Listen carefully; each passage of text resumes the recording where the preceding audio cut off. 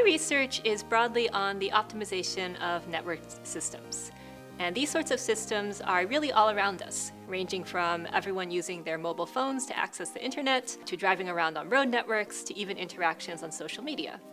And fundamentally, these sorts of systems are characterized by interactions between different entities. These could be simple, like all of us competing for access to the same Wi-Fi network, or they can be more complicated, like sensors in the Internet of Things that are trying to collect data and get a server to analyze that data so they can extract some insights from it. My research focuses on mechanisms that incentivize cooperation between these different devices and try to mitigate their competition. Recently, I've been particularly excited by machine learning in the Internet of Things, where you have all these sensors collecting data, you might have servers processing this data, and you have to allow them to cooperate with each other and with the networks that connect them.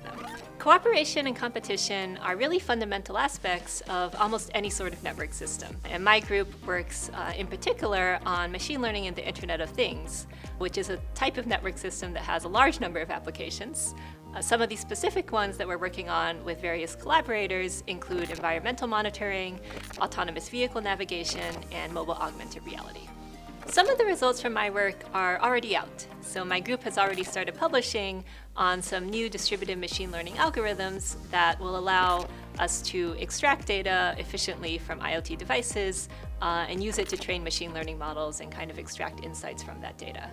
Uh, we are hoping to implement these uh, new learning techniques and also some new resource sharing techniques that we've designed uh, with some of our collaborators in different applications, and we're hoping to get some of those prototypes out in the next one to three years. During my PhD research, I co-founded a startup company based on my work called DataMi. And while I have a limited relationship with that company now, it still remains the most visible way in which my work has had impact so far. And I hope that uh, my future work has a similar sort of impact. One of the long-term challenges of my work, going beyond three to five years, is going to be ensuring that these sorts of incentive mechanisms and algorithms that my group is developing are really deployed in practice where they can really make a difference. And demonstrating their value enough that people will start adopting them is going to be one of the really long-term things that I would like to work on.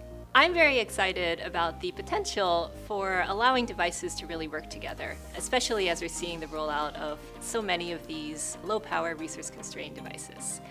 And going forward uh, throughout my career, my hope is that my work can really enable us to harness the power of these devices in order to change the way that people live their lives, hopefully make the world a better place.